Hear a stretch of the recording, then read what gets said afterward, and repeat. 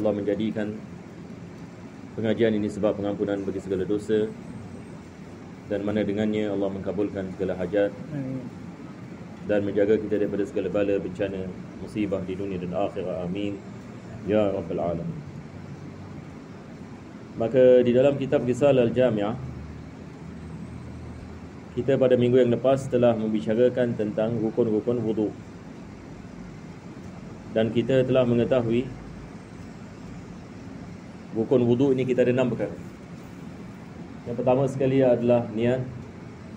Yang kedua adalah membasuh muka. Yang ketiga adalah membasuh tangan. Yang keempat adalah sapu sebahagian daripada kepala. Yang kelima adalah membasuh kaki dan akhir sekali adalah tertib. Ini dikirakan sebagai rukun yang ini wudu. Selepas itu kita juga membicarakan tentang mandi ha- hadas besar. Dan daripada sebab yang mewajibkan seseorang itu memandi hadas besar adalah kalau sekiranya berlaku persetubuhan ataupun yang terkeluar air mani maka diwajibkan ke atasnya untuk dia mengangkat hadas besar dan diwajibkan dia membasuh ke seluruh badannya. Jadi kita ada wudu dan kita ada mandi hadas. Mandi hadas kita hanya ada dua rukun.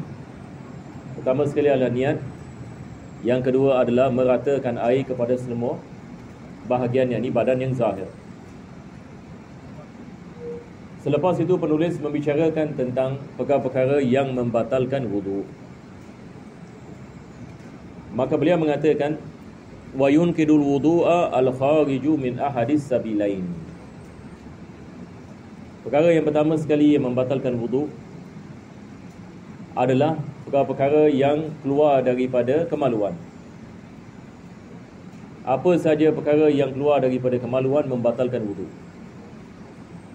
Dan kemaluan di sini beliau mengatakan sabilain iaitu bahagian kubul dan bahagian dubur. Kalau sekiranya terkeluar sesuatu daripada kemaluan sama ada dalam bentuk cecair ataupun dalam bentuk benda ataupun angin maka ini membatalkan wudu. Jadi kita mengatakan mengeluarkan angin membatalkan wudu, buang air kecil membatalkan wudu, buang air besar membatalkan wudu. Begitu juga kalau sekiranya ada sesuatu keluar daripada dubur misalnya, ia juga membatalkan membatalkan wudu. Ini adalah perkara yang pertama.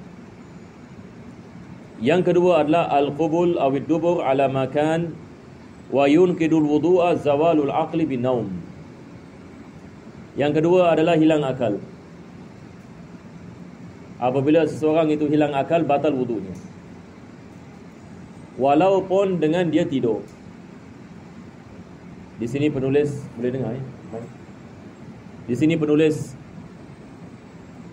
mengatakan kalau sekiranya seseorang itu dia tertidur maka batal wuduknya. Dengan syarat apabila dia tidur bahagian duburnya tidak yang ini tertutup.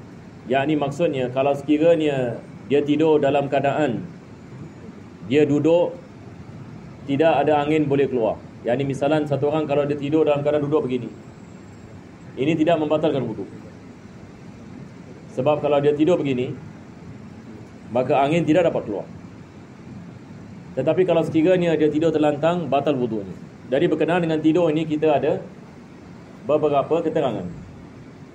Ada jenis tidur yang membatalkan wudu, ada jenis tidur yang tidak membatalkan membatalkan wudu. Jadi jenis tidur yang tidak membatalkan wudu adalah jenis yang tidur yang mana seseorang itu menetap pada punggungnya. Kalau sekiranya punggungnya tidak menetap, ya ini batal wuduknya sebab ada kemungkinan angin boleh keluar. Jadi satu orang kalau tidur terlentang batal wuduknya. Satu orang yang tertidur misalnya dia mengangkat kaki sebagai misal. Ataupun dia tidur dalam keadaan uh, baring sebelah kanan ataupun baling sebelah kiri. Ataupun terlentang dan sebagainya Ini semua adalah perkara yang membatalkan wudu walaupun dia tidur hanya seketika. Mungkin ada orang tidur satu minit saja. Walaupun kita mengatakan tidak ada angin yang keluar, terbatal wudunya. Jadi ini adalah perkara yang perkara yang kedua. Hilang akal. Juga daripada perkara yang uh, termasuk dalam hilang akal adalah mabuk. Kalau sekiranya seorang itu ada wudu, selepas itu yakni dia menjadi mabuk. Hilang akalnya. Sama ada mabuk dia minum todi ataupun dia minum obat. Yang kalau minum todi ini haram ini ke atas ni. Tetapi kalau sekiranya dia makan obat Ada jenis obat memabukkan Misalnya ada orang pergi operasi kan Dia letak apa Macam jenis ini obat Kalau kena kalau kena obat ini terus Pengsan terus Yang ini maksudnya terus ini tidur Maka ini membatalkan wudu Sebab ini ia menghilangkan akal jadi mabuk membatalkan wudu. Begitu juga dengan jadi gila. Satu orang kalau jadi gila, akalnya tidak berfungsi, maka ini juga membatalkan wudu. Ataupun pingsan, koma. Ini juga membatalkan wudu. Maka di sini penulis dia mengatakan hilang akal. Hilang akal termasuk tidur, mabuk, pingsan, gila, koma. Ini semua adalah perkara yang membatalkan yang membatalkan wudu. Selepas itu beliau mengatakan wa yunqidul wudu'a masu qubulin aw duburin adamiyyin minhu aw min ghairihi bi batnil kaf. Perkara yang ketiga yang membatalkan wudu adalah memegang kemaluan. Sama ada kemaluan di bahagian depan ataupun belakang. Dengan telapak tangan. Yang ni kalau satu orang itu dia memegang kemaluannya dengan telapak tangan. Kemaluan ada dua kan? Bahagian depan, bahagian belakang.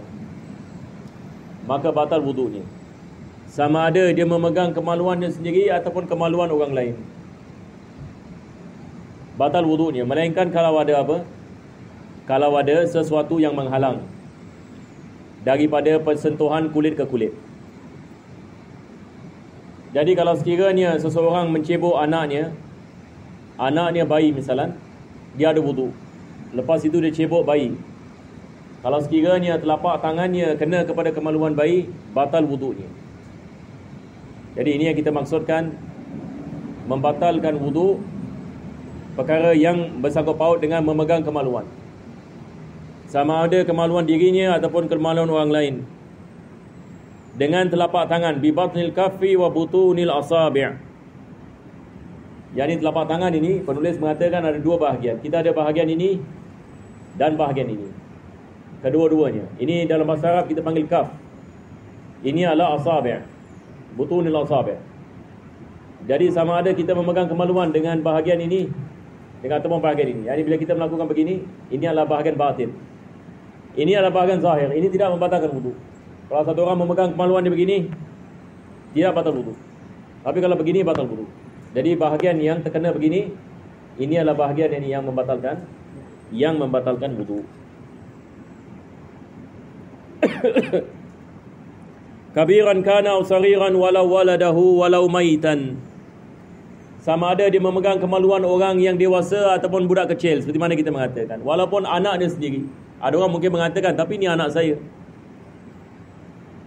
Anak dia dia cebok anak dia misalnya. Batal wudunya kalau dia memegang kemaluan anaknya dengan telapak tangannya. Begitu juga kalau kemaluan yang ini orang kemaluan yang ini orang lain. Walaupun orang yang sudah mati, yakni satu orang yang ini mandi jenazah. Dan dia memegang kemaluan si mati. Jadi wuduk siapa yang batal? wudu orang yang memandikan ini. Tapi diharamkan ke atasnya sebab bila mandi jenazah tidak boleh memegang kemaluan si mati. Nak kena pakai glove.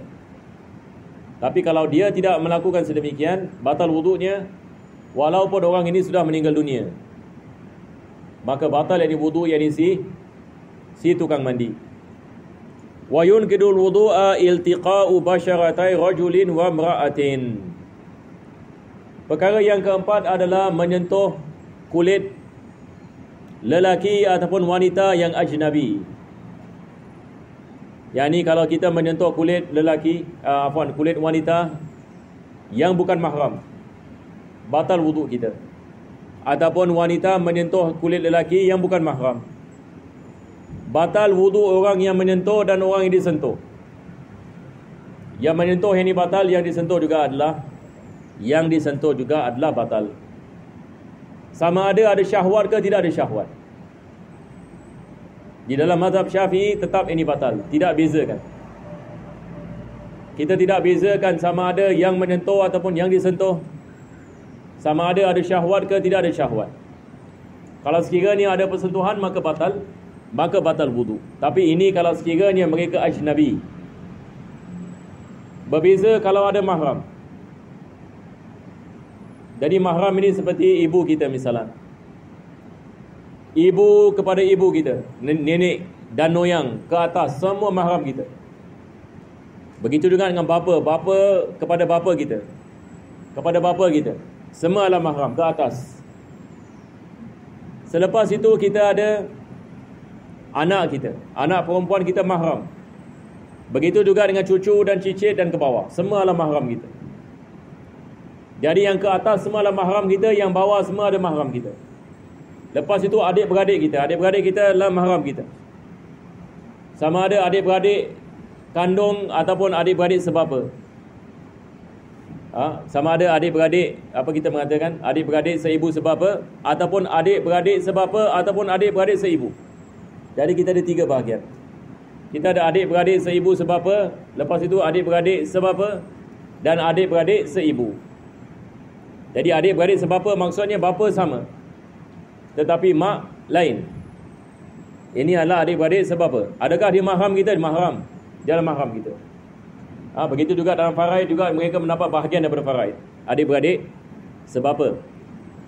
Begitu juga dengan adik-beradik seibu. Yang ini bapa lain tapi ibu yang sama. Ini juga adalah mahram kita. Selepas itu kita ada anak saudara kita. Yang ini anak kepada adik-beradik kita. Kalau dalam bahasa kita kita panggil apa anak saudara kan.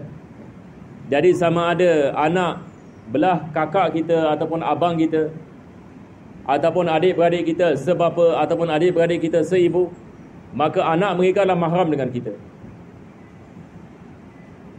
Tetapi cousin bukan mahram, cousin. Yang ini misalan pak cik kita punya anak. Pak cik kita punya anak. Ini adalah saudara juga kan? Sepupu. Sepupu. Maka sepupu boleh kahwin. Sepupu ini bukan mahram. Tetapi kalau anak saudara mahram, beza ya. Sekarang kalau saya ada abang, abang saya ada anak perempuan, maka ini adalah anak saudara saya kan? Maka ini adalah mahram. Maka saya dikira sebagai pakcik dia. Jadi anak saudara kita ada mahram, adik-beradik kita ada mahram, begitu juga dengan pakcik dan makcik kita. Adik-beradik kepada bapa kita, mahram kita. Adik-beradik kepada ibu kita, mahram kita. Maka mereka ada pakcik dan makcik. Pakcik dan makcik kita. Jadi pakcik kita ada yang sebelah bapa, ada yang sebelah mak. Kedua-duanya dikirakan sebagai sebagai kita punya mahram. Jadi ini adalah ringkasan kita mengatakan mahram kita. Begitu juga mahram disebabkan perkahwinan. Kita berkahwin dengan seorang wanita, maka ibunya mahram kita. Ini mak mentua. Dia tidak ada nasab dengan kita akan tetapi ini disebabkan perkahwinan. Kita kahwin dengan anak perempuannya, maka ibu dia menjadi mahram. Begitu juga kalau sekiranya kita berkahwin dengan seorang wanita dan wanita itu ada anak perempuan daripada perkahwinan yang lain. Ini dikirakan apa? Kita dikirakan sebagai apa? Bapa tiri. Ini mahram kepada budak perempuan itu. Tapi dengan syarat mesti ada persetubuhan selepas nikah. Kalau tidak ada persubuhan maka tidak sabit mahram. Berbeza dengan mak mentua. Mak mentua kita akad anaknya terus mahram. Yang ini bila kita mengatakan qabil tu tazwijah wa nikah bil mahril mazkur. Khalas, kita mengatakan sah ini pernikahan mak mentua dia dari mahram. Terus kita dah beri salam dah. Tapi zaman yang kita tinggal hari ini kalau hari raya masya-Allah semua salam saja. Ha? Kalau orang tak tahu ini perkara ini Ah dia semua orang yang dia salam. Jadi anak-anak kita kita nak kena ajarkan kepada ni. Ada orang yang kita boleh salam, ada yang tak boleh salam. Sebab kalau budak dah balik, misalnya kalau budak kecil tak ada masalah lah. Tapi kalau budak dah 18 tahun misalnya, dia tidak boleh yang ini salam, yang ini wanita yang bukan mahram. Begitu juga budak yang sudah balik dan mumayyiz, hatta mumayyiz tidak boleh. Budak mumayyiz yang ini umur 7 tahun, 8 tahun, kita tidak boleh suruh dia salam yang ini orang yang bukan mahram. Ini kadang-kadang berlaku kesilapan. Kita menyangkakan ini budak kecil, Masya Allah, ini satu orang dah dewasa, kita suruh dia salam. Ha, tidak dibolehkan. Kalau dia sampai kepada had mumayyiz. Tapi kalau dia masih umur 3 tahun tak ada masalah. 3 tahun. Ah ha, budak 2 tahun. Ini tidak ada masalah. Tetapi kalau dia dah sampai 7 tahun, tidak dibolehkan yang ini kita lepaskan dia mengatakan salamlah siapa-siapa awak nak salam, tak boleh. Kita tidak boleh memasukkan dia misalnya ni di tempat yang ada wanita. Maka percampuran bagi budak memayis juga tidak dibolehkan. Jadi ini daripada perkara kita nak kena kita nak kena faham. Jadi kita ada mak mentua, kita ada uh, anak tiri. Anak tiri mahram bagi kita. Dan begitu juga kita ada mak tiri. Misalan bapa kita berkahwin dengan seorang wanita. Sama juga. Adakah kita mahram bagi wanita ini dengan syarat persetubuhan? Dengan syarat persetubuhan. Jadi ini kita mengatakan mahram disebabkan perkahwinan. Kita juga ada mahram disebabkan susuan. Misalnya satu orang dia ada bayi belum sampai dua tahun. Lepas itu dia memberikan wanita melakukan susuan kepada bayi ini. Maka ini menyebabkan bayi itu menjadi mahram kepada wanita. Ini kita mengatakan ibu susuan. Tapi dengan syarat mesti lima kali susuan. Pada lima kali yang berbeza. Maka budak itu sudah menjadi mahram. Jadi ini dikirakan sebagai ibu susuan maka anak-anaknya dikirakan sebagai anak-anak susuan suaminya dikirakan sebagai bapa susuan adik-beradiknya dikirakan sebagai makcik dan pakcik susuan maka mahramnya sama yang ini seperti orang biasa. Cuma bezanya adalah dia disebabkan susuan bukan disebabkan bukan disebabkan nasab jadi kita perlu tahu siapakah mahram kita, siapakah yang bukan mahram kita. Jadi kalau kita melakukan persentuhan di antara mahram kita, ia tidak membatalkan wudu. Tapi bukan mahram kita, ia membatalkan ia membatalkan wudu. Wallahu alam ini bisawab. Maka ini adalah empat perkara yang membatalkan wudu. Jadi penulis mengatakan selain daripada kulit tidak membatalkan wudu. Seperti kuku, Begitu juga dengan gigi, begitu juga dengan rambut. Ini tidak membatalkan wudu. Begitu juga kalau ada kain hail, kita memegang orang tapi bukan kulit ke kulit. Ini juga tidak membatalkan tidak membatalkan wudu. Alhamdulillah rabbil alamin. Allahumma salli wa sallim ala sayyidina Muhammad wa ala ali sayyidina Muhammad. Rabbana atina fid dunya hasanah wa fil akhirati hasanah wa qina adzabannar. Sallallahu ala sayyidina Muhammadin wa ala alihi wa sahbihi wasallam. الحمد لله رب العالمين. تقبل الله منا. من منكم تقبل